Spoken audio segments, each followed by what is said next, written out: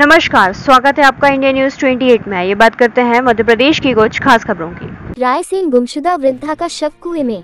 खबर, मध्य प्रदेश के रायसेन ज़िले के बेगमगंज जनपद क्षेत्र अंतर्गत ग्राम कीरतपुर में करीब सात दिन से लापता वृद्धा का शव खेत में बने हुए कुएँ में मिलने से क्षेत्र में सनसनी फैल गई।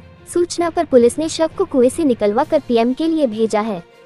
आपको बता दें कि ग्राम कीरतपुर में करीब 80 वर्षीय वृद्धा लच्छो बाई करीब एक सप्ताह पहले अचानक घर से लापता हो गई थी। सभी जगह तलाश करने पर जब कहीं पता नहीं चला तो पिछले रविवार को गुमशुदी थाना बेगमगंज में दर्ज कराई गई थी।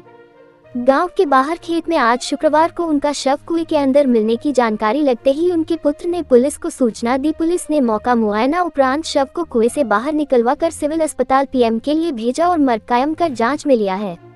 रायसेन से संवाददाता राकेश जैन की रिपोर्ट। सर, क्या घटना घटी?